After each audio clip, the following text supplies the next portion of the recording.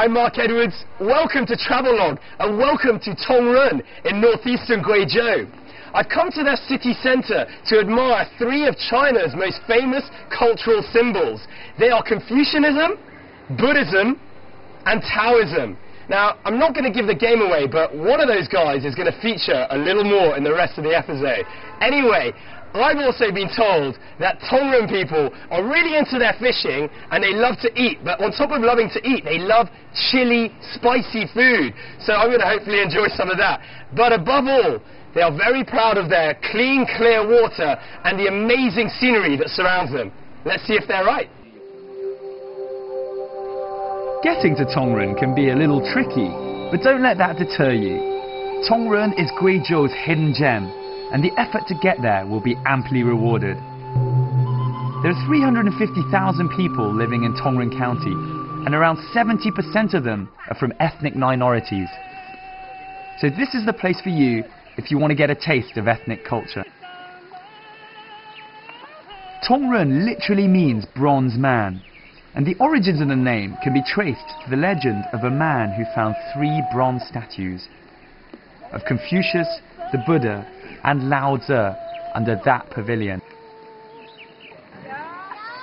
This pavilion, built in 1516, is called the Kwa Ao Ting, or the Pass the Examination Pavilion. By tradition, seven days before the imperial examination was held, local officials would hold a ceremony here to wish all the students from Tongren success. Just a little pointer, it's called a pavilion if it doesn't have a wall, and with walls it's a pagoda.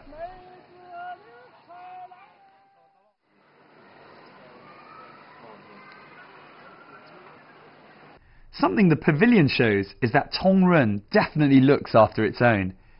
Further into the town is the former home of a Tongren native and martyr called Zhou Chun. The story goes that he died during the war protecting his colleagues. Offered the chance to escape, he realized that two female colleagues had been left behind. In the end, he sacrificed himself to ensure that they escaped safely. What a hero.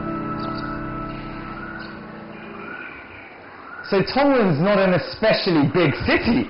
Well, I think that's a bonus because you get to stroll around at your own pace and find places like this this house was built in the early 20th century, and if anything, it feels very different to the ones that I've seen in Beijing, the uh, Siheyuan or courtyard houses. These ones are all split up, so I was just checking out the bedroom and living room. We've got the meeting hall here, and then just in front of me, apparently there's the kitchen and reading room. So very, very different.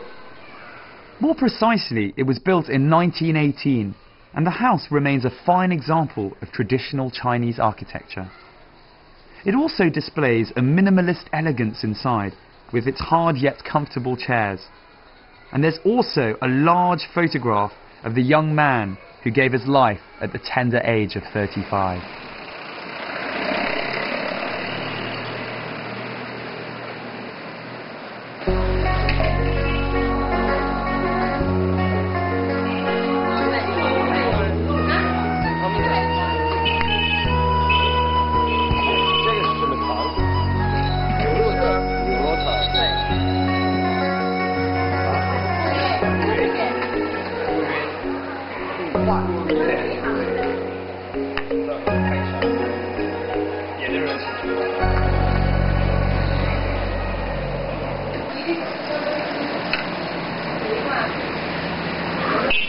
What can I say? This is the uh, Tongren local style, and uh, I'm liking it. It's so simple in a way. You just pick your noodles, they boil them up, then you pick essentially what you want on top. So we've got mushroom, pork, um, slightly fatty pork, and then some beef.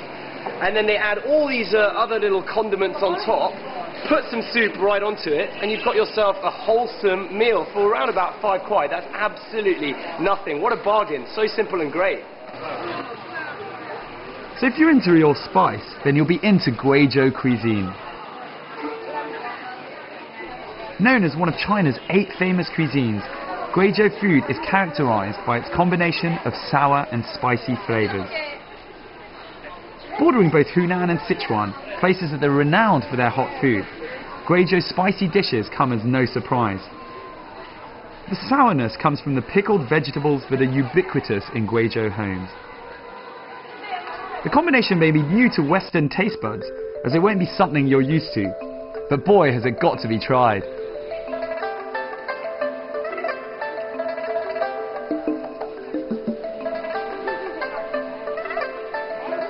Some of the local food is served only during the major Chinese festivals. That's Chinese New Year around February time and the Qingming Festival around the beginning of April. If you get the chance, make sure to grab a load of the glutinous rice with dried pork. It's also one of the non-spicy dishes if you're put off by too much pepper. 猪就是这个真空包装好了就可以带走。是吗？哦，OK 远方的朋友。你好，哎，你好，这个好吃吗？那个好吃，你可以上一个嘛？我上一个，你喜欢吗？啊？你喜欢吃这个吗？嗯，我们都喜欢吃这个是吧？中国人都喜欢。个。嗯，对对对。我尝，我我除了尝一个。来嘛，我拿个推的给你。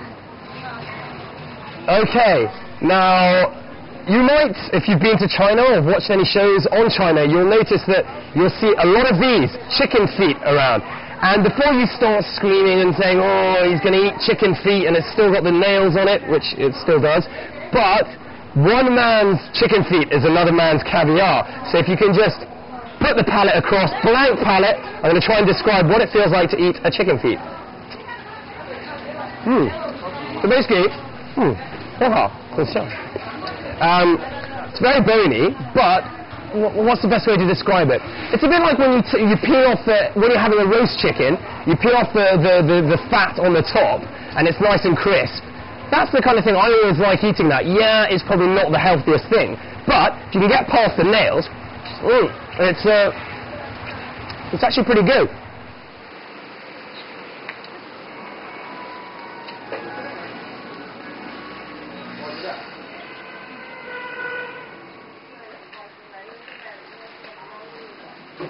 Fishing is probably the most popular participation sport in the world.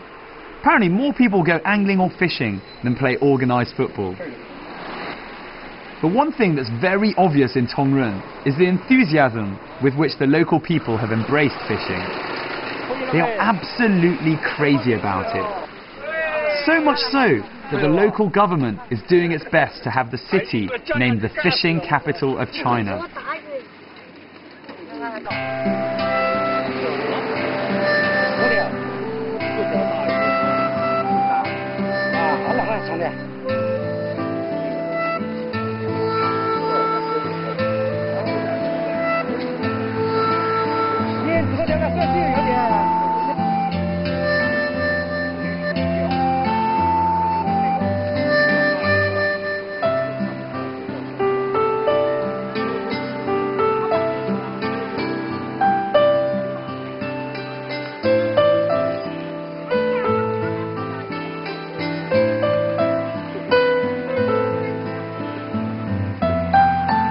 The Tongren people love to fish at any and all times.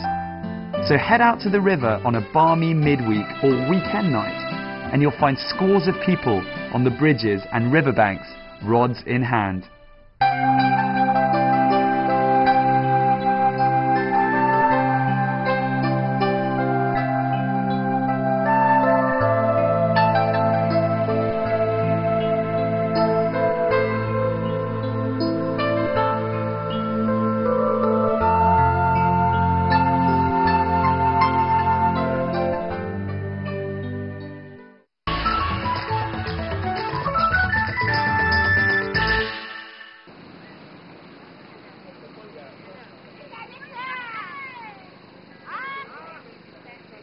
Aware that Tongren is quite a unique place.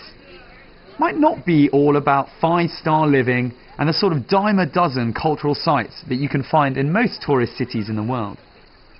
As off the beaten track locations go, this one is right up there.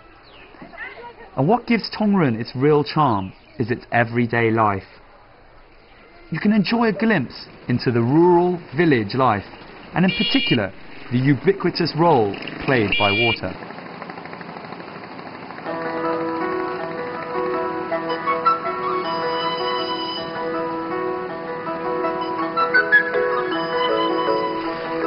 The water that makes its way down from Fanjing Mountain is said to be amongst the purest in China, and the Tongreners, if we can call them that, make every possible use of it. Now it's time to see the famed ethnic minorities. There are 26 documented ethnic minorities living in Tongren County, making up a total of around 250,000 people. We're heading up to a typical Tujia village to finally get up close and personal with an ethnic lifestyle.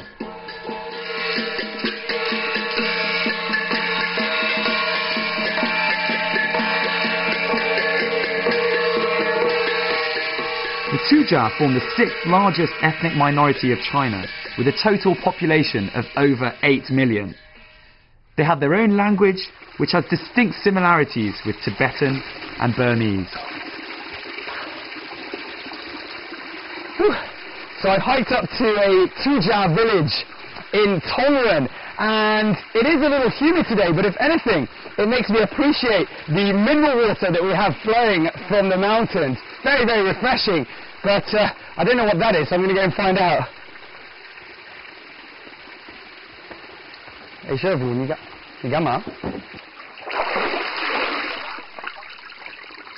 In this village, you need to ditch your laptops and get back to basics. You never have imagined that in the 21st century you'd find such an old-fashioned way of manufacturing paper. It also serves to illustrate the self-sufficient lifestyle of some of China's ethnic minorities.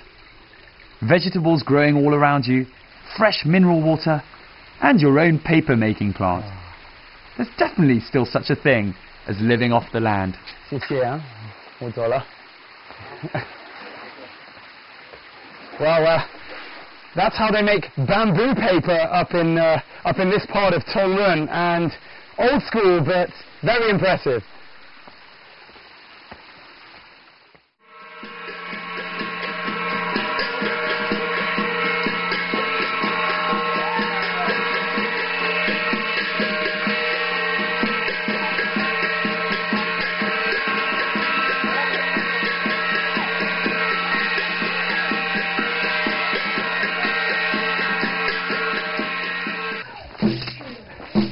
There are 26 different types of ethnic minorities here in Tongren, and we've got